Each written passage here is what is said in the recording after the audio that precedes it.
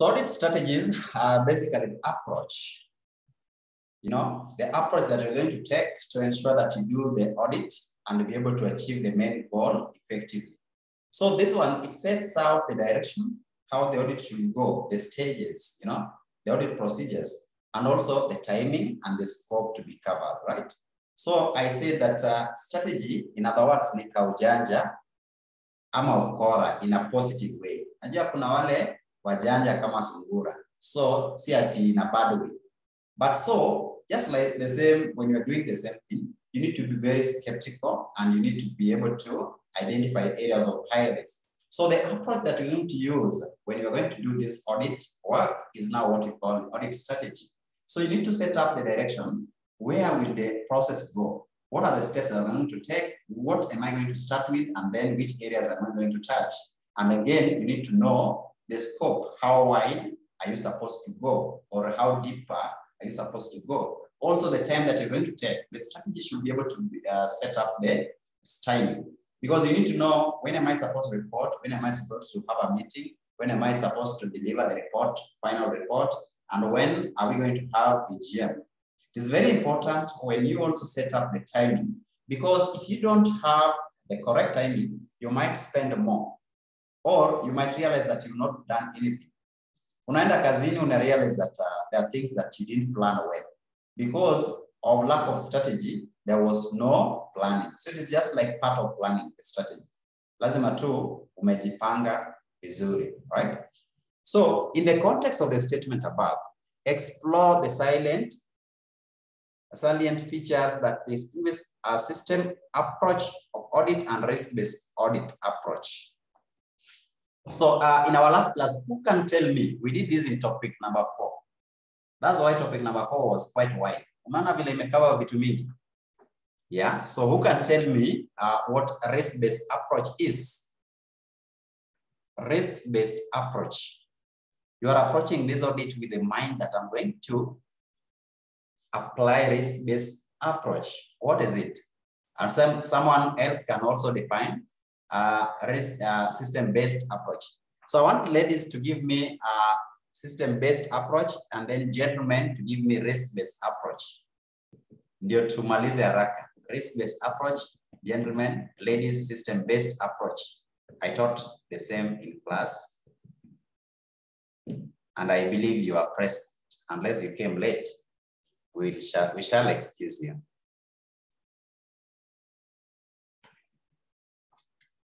Take a, please so that we save time. You can also talk. Uh, let me unmute a few uh, so that you can be able to have interactive session. I don't like a silent class. Nataka watu waongee. Na expect sasa Calvin aongee hapa, Badawi, Susan, those are my very active students. Margaret, Michael, Jane, Lynette. Nataka muongee, Rebecca, please. Instead of writing, explain in words, and then we'll help you to frame it correctly. Just explain. Writing, writing will take time. Writing will take time and we don't have much time. You can just explain what you can. Yes, Thank you. risk, risk-based approach. The auditor will concentrate on the high-risk areas uh, depending on the scope of the audit work. So the area of concentration, the area of concentration will be just on the high-risk areas. Thank you. Thank you very much. Now that brings me to the next question. What determines the approach of audit strategy? What determines the strategy to be used? Again, they can ask you in the exam. We are saying now that the auditor can decide whether to use a risk-based approach or system-based approach. So what informs him to make what decision or what approach to use?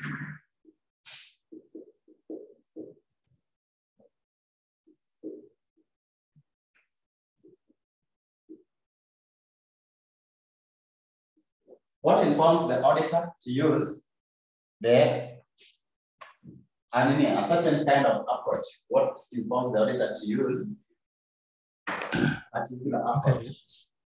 I can try on that one the director, what determines audit approach to be used.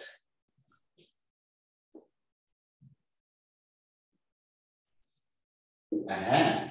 Go ahead, try. Oh, I can say one of the factors is uh, the risk assessment. Risk assessment. Yes.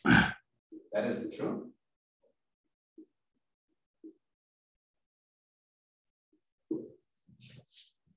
Or you can call it risk level or risk exposure.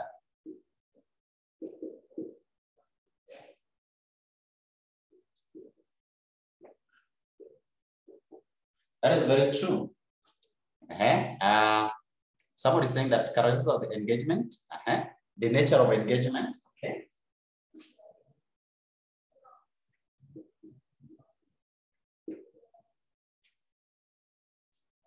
Yes, there are engagements that you can't, you have to use a certain approach. Volume of transactions. Uh-huh.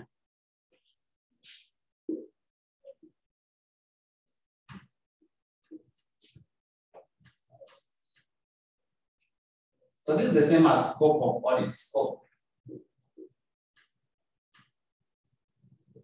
Scope of audit matters, matters, right? Because we say that the strategy sets the direction and also the scope. So scope, this one is something that are interchangeable. The scope affects the strategy, but the strategy also affects the scope. Um, intended use of the report. Yes, the expected report, nature and use of the expected report.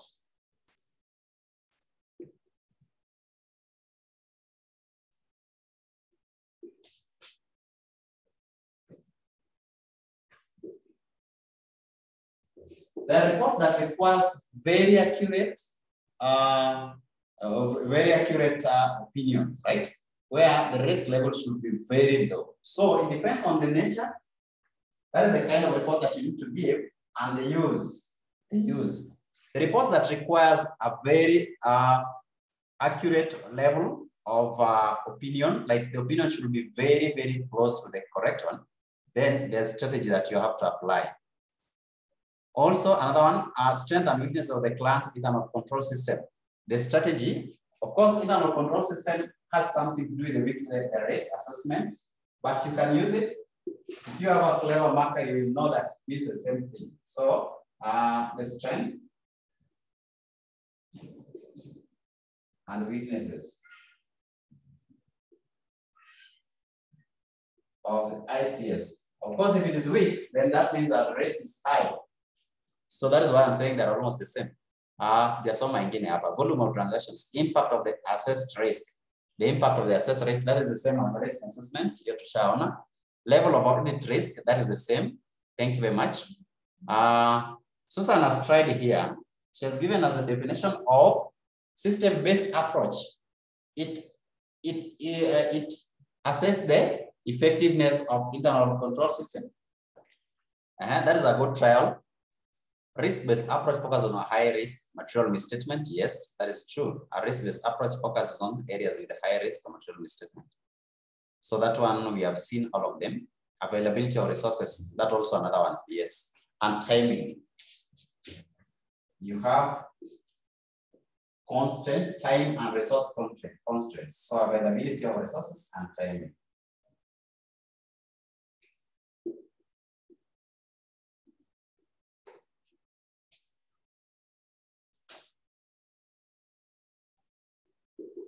So this actually affects uh, the strategy that is going to be used. So when you talk about these strategies, how many strategies do we know? There's one that is called balance sheet.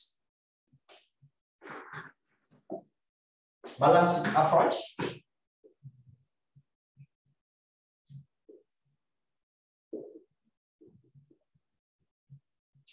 We have system-based approach.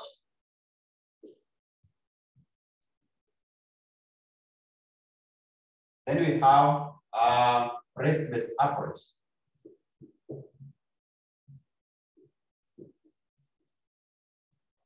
So I want you to understand this kind of approaches very well. The first one is called balance sheet approach. This approach is normally used when the auditor assumes that if the balance sheet items, understand that, we normally have in our financial reports, we have balance sheet items and we also have P&L items.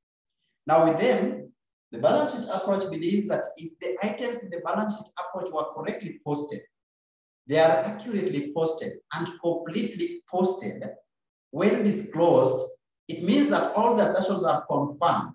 Then there is no need of confirming P&L items because automatically P&L items should be okay. Why? If, for example, receivable is okay, cash and balances are okay, that means that the sales should be posted correctly because these are quarter entry. That is what they are saying. Kwamba kama ulipost receivable vizuri na tena ukapost cash and cash equivalent vizuri, then that is what makes up sales. So sales is okay. There is no need of now focusing on sales. So P&L item should be okay by default. They're also saying that if the payables are okay and all the liabilities, then that shows that even expenses are should be okay. Expenses should be automatically correct. So this approach focuses on balance sheet item and it believes that if the balance sheet items are correctly posted and accurately posted, completely posted, then items on the P&L will automatically be okay. So, so we shall come to the testing. We shall come to the testing. Now, that is uh, that is the approach for audit where you are now going to apply this test. Emmanuel, once you have decided now that the approach that you're going to use is called balance sheet approach, that is a strategy.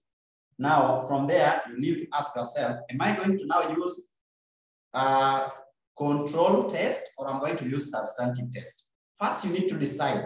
Remember what they're saying here. The audit strategy. So these are the strategies that you're going to use. So once you picked any of these, then now you ask yourself, which test now? Which test? These are the strategies. You picked one of them. Now you ask yourself, now on this, how am I going to apply substantive test to confirm the balances of the balance sheet? Once you have done that, achana na P&L. Or you want to use now the control test. Of course, you normally start with the control test, meaning that whatever approach you're going to pick here, you now ask yourself first that does controls work? You test the control. If the controls fails, then now you go back to the substantive test. Substantive test is normally applied where the controls have been confirmed to be weak. But if controls are very strong, then you can use it. Now we have system-based approach. This one believes that uh, whatever is generated in the system is what you're going to use. You focus on the system, the controls. So this one mostly depends on the internal control system. Because you believe that uh, everything that has been posted in the system is okay. So if they're okay, then whatever is generated, you can use it. You can use what is generated only. So you don't need to worry about much. But this one is very applicable where the controls are very strong. So that when you generate the report, this report that is dependable. So this particular approach based on the reports that is generated in the system, it believes that uh, the control systems are very strong and so we can depend on them. This one, system-based approach. Then we have the last one, which is risk-based approach. They have said that you focus on areas of high risk.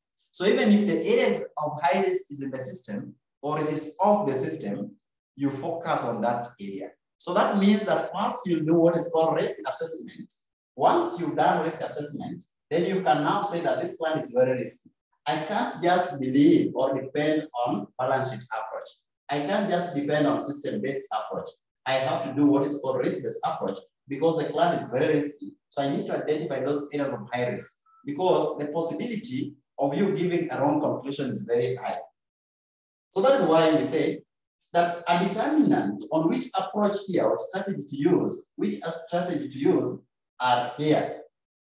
The nature of engagement. If the engagement is the one that requires accurate results, then of course you need to use a system that can give you accurate results. And obviously that can be balance sheet. It can't be balance sheet. Balance sheet might actually be wrong. And so today's auditors normally use risk-based approach because this one is quite objective. It doesn't ignore much. So, so, and of course it reduces auditors' risk. Now, uh, so you know the differences. And so you can give example. More on that, you're going to do your personal studies. Next time, you should be having more points on that. The second question asks, describe the factors that influence the choice of an audit strategy. But you have given me the answers. These are what determine the approach. You have given me the answers, all right, of the strategy. So these are the strategies that we're talking about. And then these are the factors that determine which strategy you're going to use. You can add many if you get more. So that's number three. Number three is done. I want us to go to number one. Number two looks like a very long thing. It is a case study. And because of time, I can't be comfortable with it. I'm not sure kama tutamaliza. So let me go to number one. It looks scanty. It looks very uh, short. So let's try this. Uh, then number two, kama tuko na time hata kesho. Because it looks wider? Sawa sawa. Hata kwa exam, hata kwa exam, start with the ones that are, are actually easier to pass. Somebody is saying something. Uh, kuna text nimeona hapa inapotea 3B. Kwani 3B hatujafanya? Sure? Hatukufanya hiyo jana. Inasema nini? Hii ni 4. So it is 3B. Oh, 3B. Oh, jana tulifanya hii. Okay, sawa. So 3B says that uh, there is a strong interconnection between, let me share with you. Ndio uone.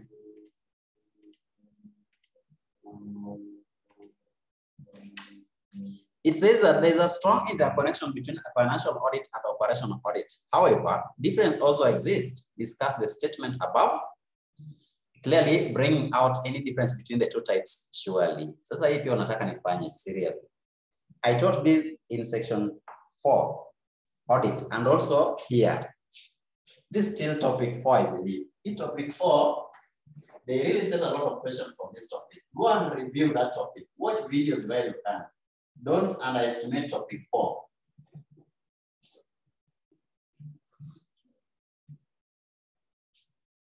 I think these are the people who did a very uh, difficult paper because it was concentrating on one topic. So kama wewe ulikuwa ulikuwa hivi hivi, we utakipata. So they're saying, let me wrap this one. This is for those who are doing tax.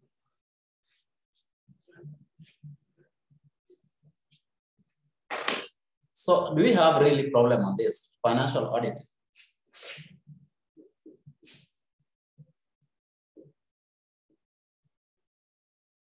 Then we have operational audit.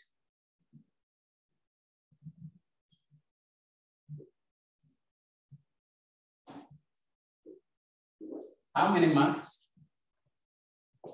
Four marks only. So that means that uh, uh, you only need to give some two differences, then you are okay. So who can tell me the first, in terms of definition, what is financial audit?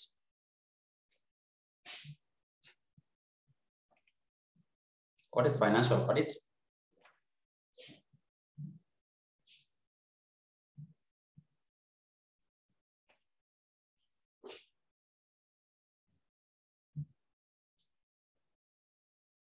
You can as well speak.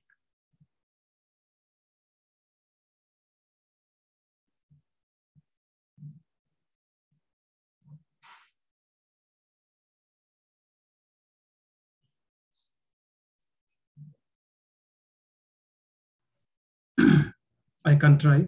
Yes, please. Okay, um, financial audit is the independent examination of financial statements to determine if they reflect a true and fair view of the company's operations. While, Sorry, uh, come again, to determine, just repeat somewhere there, to determine? Or to determine if they reflect a true and fair view of the company's operations. While operational audit is the audit of um, the activities of the company. Okay, the audit of routine activities of the company, if they, if they are economical, efficient, and effective in terms of the use of the resources.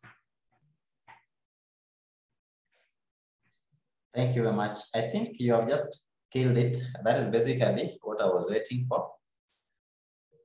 So as Peter is saying that examination of historical financial information, I think what he has given is quite uh, uh, elaborate and he has given even example. For operational audit, you're going to look at even the effectiveness and efficiency, meaning that when you're doing operation, you need to ensure that you use less resources but achieve more, no wastages. So this one focuses on general operations. Whether you are following the, uh, you're using, allocating the resources correctly, you are having the right person doing the right thing, the resources are not being misused. That is what it basically focuses on. But on financial audit, you are focusing on the financials and whether they represent the true position of the company. It's the one that most people do. When it get to statutory, uh, statutory audit or normal audit, people think about financial audit. It is the one that most people focus on. It shows the uh, reflection of the company's financials on the ground. It should give us that kind of uh, reference that this is what is actually happening on the ground. So it basically focuses on the financial position of the company. So that is what it means, right? It, it actually focuses on the controls when it comes to errors and frauds that could be in the financial statements. It focuses on those things, errors or fraud. So financial audit, you can say, you can say that financial audit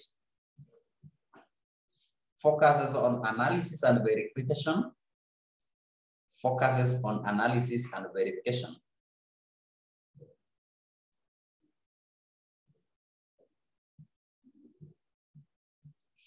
It focuses on analysis and verification of the financial affairs. Or you can use the word examination, uh, the way Emmanuel has said.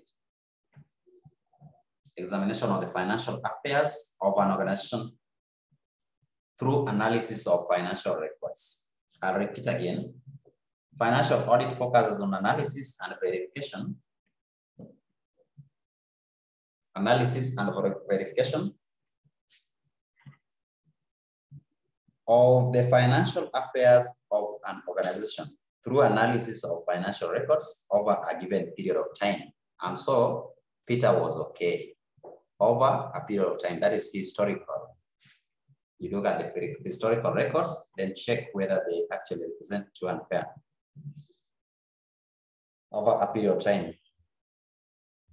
It focuses on analysis and verification or basically examination of financial affairs of the organization through the analysis of financial records over a given period of time. Over a given period of time. So that is basically what it means. The other one, it was, uh, the other one is uh, operational audit, still. So this one focuses on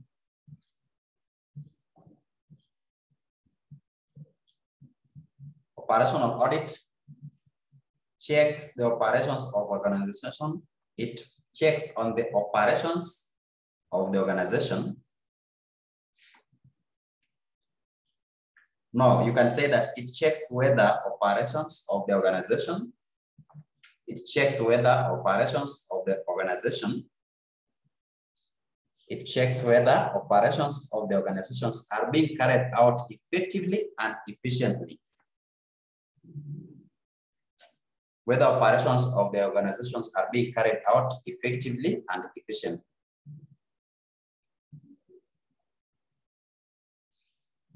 It reviews, you can say it reviews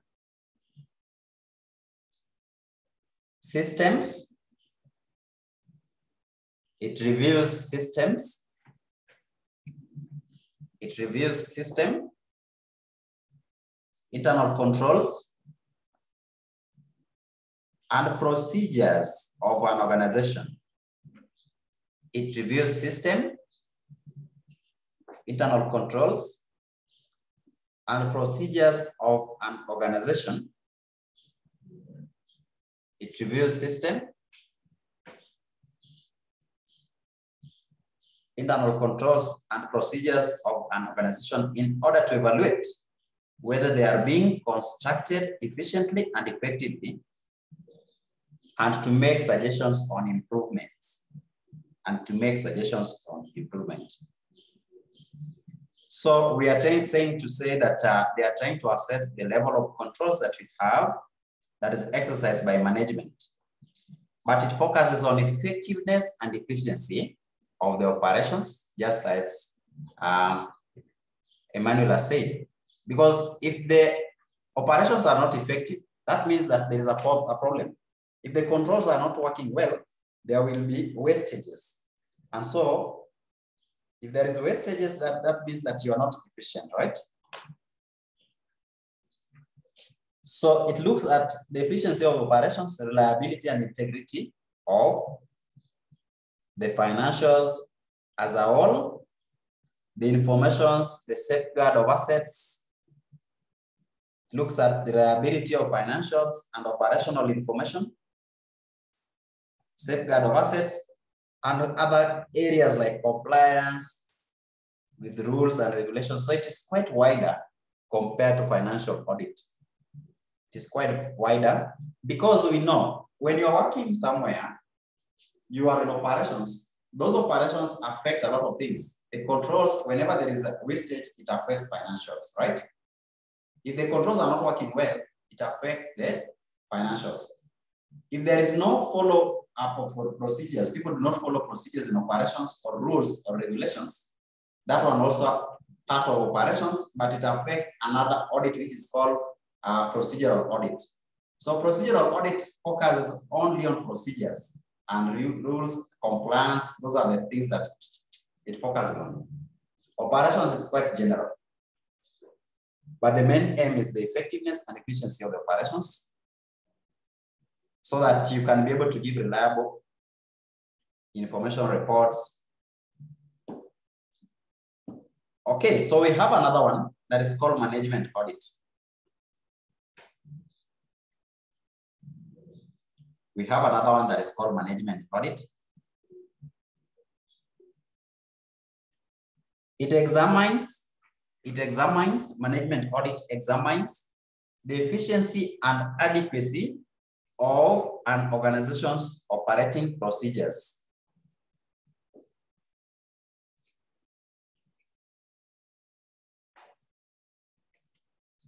It focuses on efficiency and adequacy of an organization's operating procedures.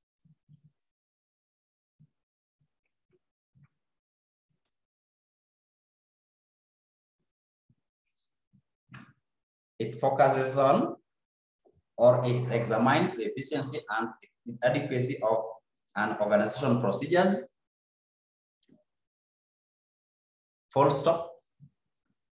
It is a systematic examination. It is a systematic examination of decisions and actions of management to analyze the performance that is management audit. It focuses on management and how it operates. So you are auditing management's performance. And of course, management performance overlaps, right?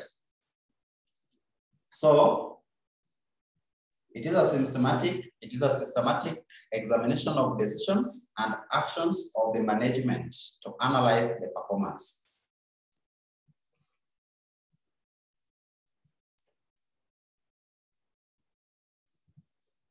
a systematic examination of decisions and actions of the management to analyze the performance. It attempts to evaluate the performance of various management processes and functions. It evaluates various performance of management. It evaluates various performance of management processes and functions. So it looks at the functions of management, then evaluate. And of course, some of these functions of management includes controls, organizing, all right, leading. So it evaluates various management processes and functions. So it is also a method of basically evaluating the effectiveness and efficiency of management at all levels throughout the organization. efficiency and effectiveness of management at all levels throughout the organization. That is management audit. It look at it looks at the management performance. That is what you are auditing, management performance. So let's look at question number two.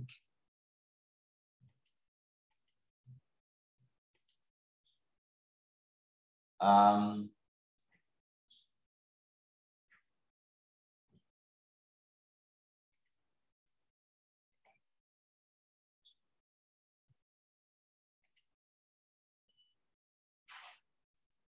let me share the screen. Time pia inaenda mbio. That's why we should join very fast.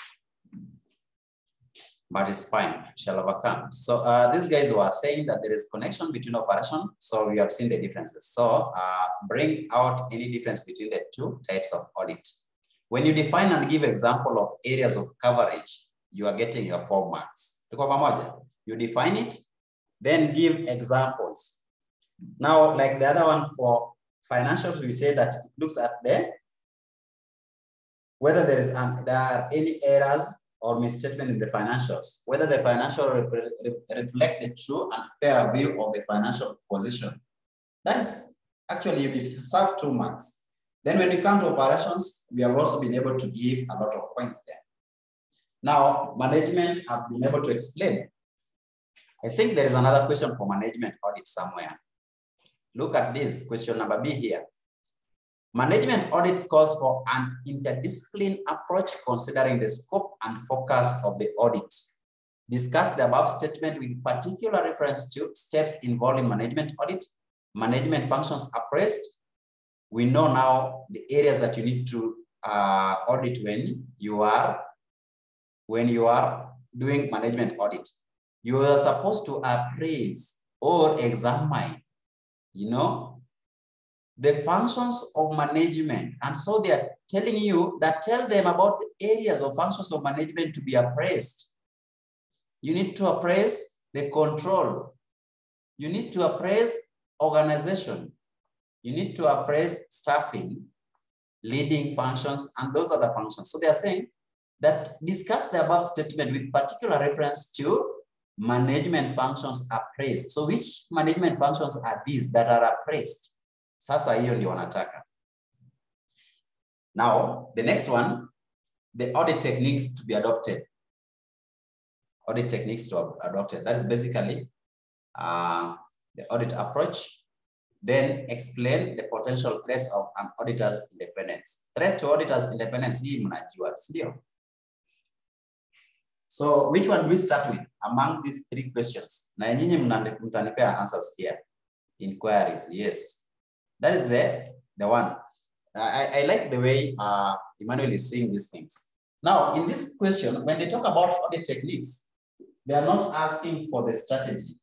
They are asking for those small, small things that you do, like inquiries, observations, you know, those are the, inspections, those are the audit techniques that you're going to use to audit the functions of management. That is what they are asking. So you need to tell us, how will you apply inquiry to audit functions of management? So that is what basically they are looking at. And then what is the advantage of management audit? Why is it important? So tutaanza pole pole. Tuanzie kwanza hii C. Juu hii ni mboga. You guys need to tell me the potential threats to auditors' independence. What are the threats to independence? You remember we talked about Remember we talked about the eh, codes of ethics. We talked about codes of ethics.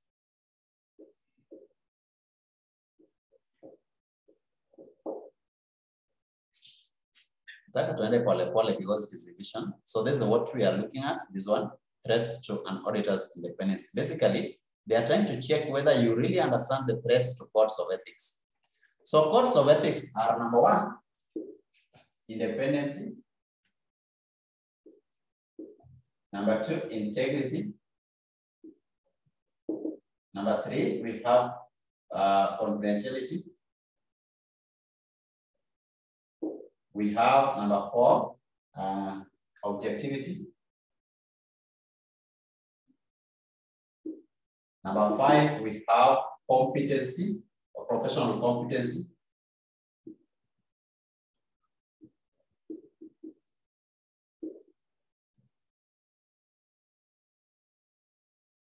We have professional behavior.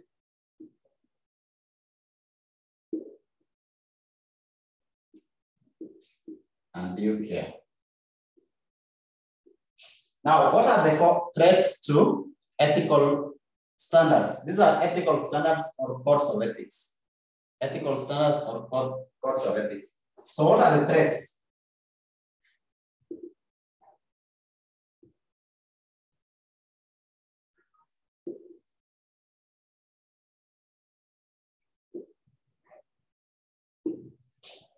Self-interest, familiarity threat,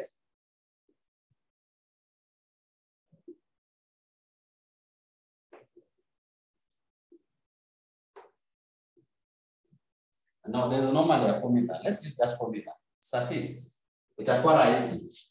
Tukitumia hiyo formula itakuwa rahisi.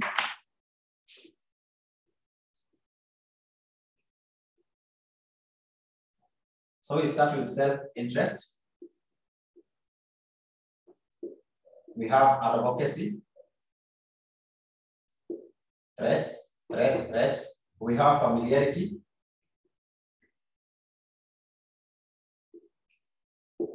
we have intimidation.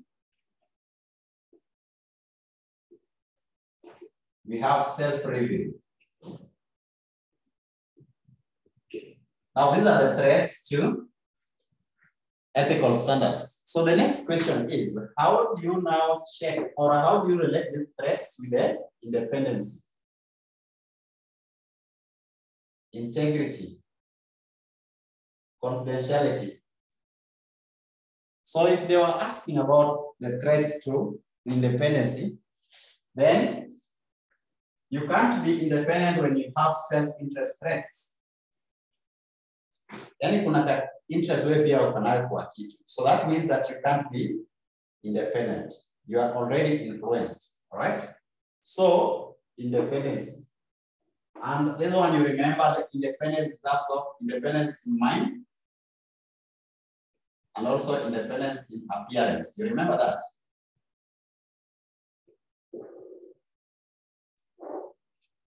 The next one here is advocacy. It also affects independence, over relying on a single client. That one can cause. Now the next, that is the next question, Peter. If they ask you what causes advocacy threat, how can this come out? How can self-interest come out? Then you can now say over reliance on a single client over period, bring what is called familiarity threat. So, so when you are auditing one client for long, it affects you because you're going to be familiar with that. But again, it also affects you because you are not going to be independent, being that this is your source, your main source of income. Imagine one client paying you 200,000 and you only have three clients, the rest are paying you 50, another one is paying you 40. You are over relying on that client. It will affect you. You are not going to be independent. But again, you are also going to be familiar with this client. If you over rely on this client for a longer period, having one client for a longer period without rotation. So the solution for this is that you need to have so many clients so that you don't over rely on one client. But again, we say that familiarity also comes in when you rely on one plan for a longer period, not in terms of money, but in terms of the time frame. It affects you. So this one rotation is the solution. So you need to ask yourself, among these, what are the causes of this? And how are they applicable here? So, so, so Peter, that answer is very okay personal or family relationship. That also helps. It creates, again, these threats. When you have a relationship, then you, you normally automatically have some self-interest, right? Right now, if you're a judge and your best friend ameletwa kotini na wewe ndio judge, and that is your relative, that is your long-term friend, ameletwa mbele yako, Of course, you have some interest. Unataka, unataka a succeed in the case, here. So that means that you have interest. You cannot be independent. Yeah, you cannot be independent. So you need to remind, remind yourself here. And then now safeguard to this threats. Na hiyo utajisomea. What does it safeguard to this threats?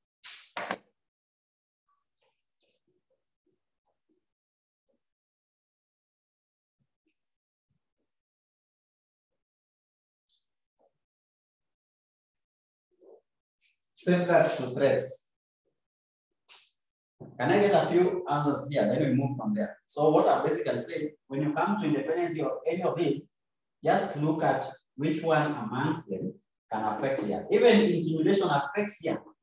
Mtu amekuintimidate that you know if you don't give us the report that you want, hautapata hii kazi. Sahau. Ama nakwambia utajipata huko Karura Forest. Usipotupea report vile tunataka. So there is threat. Ndio. So are you going to still be independent? No. And of course, it also affects objectivity. Once you're not independent, then you're not going to be objective. Again, it affects competency. You can't do the right thing because of intimidation. So this thing was direct. These guys wanted you to come and pick among these threats, which one affects independence. You can resign. so the first one here, we say that uh, we have advocacy, review, and explain. Okay. So uh, advocacy is when you find yourself supporting the client position. Yeah, advocating or advocates, those people support their client. So advocacy is the same. Instead of you being somebody who follows the standard, who is not biased, unajipata. So it affects this. Advocacy also affects this. Meaning, uh, it affects objectivity. You are going to be biased. Because you are supporting the client's position. Assuming that KRA has come, KRA are following your client, you are the auditor, na KRA wamekuja kwa hiyo client wako, alafu wewe unajipata unamtetea, unamwambia no, unaambia KRA na you know this is not what he did, it is supposed to be this. When you know very wrong, very well that the client is wrong, you know very well that the client is wrong. You are advocating for the client. That is advocacy threat. You are actually promoting the client position. You are promoting the client position meaning that you are no longer fair. You are not standing for the truth. truth. So you are not honest. Honesty is also affected. Advocacy threats affects honesty. Unaona vile hizi vitu. Advocacy uh, uh, also affect this. Advocacy also affect this. It also affect this. Supporting the client position. Don't. Then when we come to self-review, this is a situation where you are the same you are the auditor or a professional who is actually performing an assurance service for the client and also assurance service. So review is basically like audit, I said that, right? So how do you audit yourself? Umefanya bookkeeping ukamaliza, unakuja kuaudit hiyo book. Unakuja kuaudit nini? Wewe ndio umefanya hizo makosa. So how can you audit yourself? You can't do bookkeeping or tax for the client and then you want to audit the same same period, the same same books. That is called self-review. Of course, it will affect your uh, objectivity, right? Self-review will affect your objectivity and also professional competency will be affected, independency will be affected. So ona, independence iko na almost kila kitu hapa. Almost kila kitu. And you only need to explain. This is what they were setting. So don't go around the bush. They were asking you, do you understand service? That is what they were setting in that paper. So you only pick whatever is here, then link it with this, how it affects independence. Pick another one, link it to that. So uh, because of time, I wish that we can stop from there. I'm sending you a few notes. I'm sending you a few notes uh, on management audit. Importance,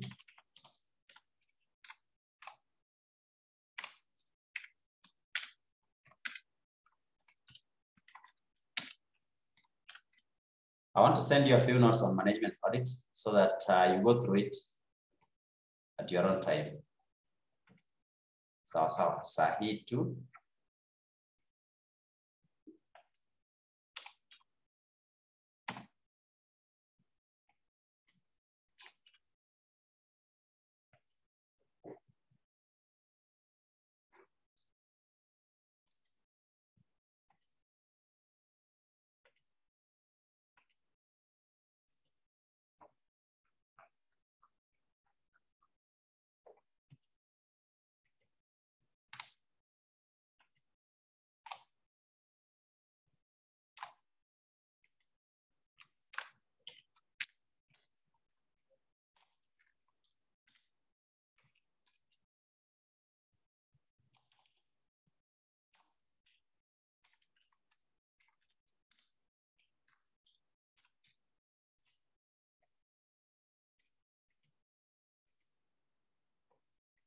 So that is the end of class for today.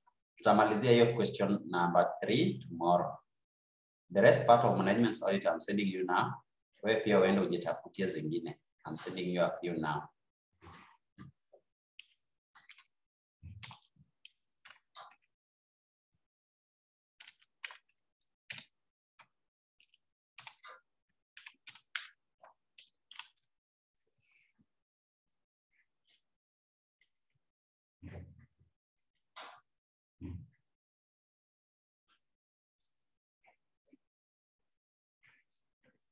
Sawa sawa. So that is the end of class.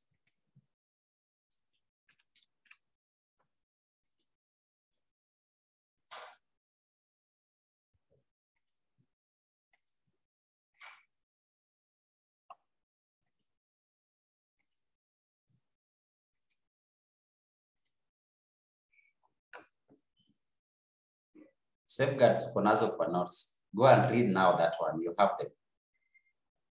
Please keep on reading the notes. Mi kazi yangu ni kuamsha akili.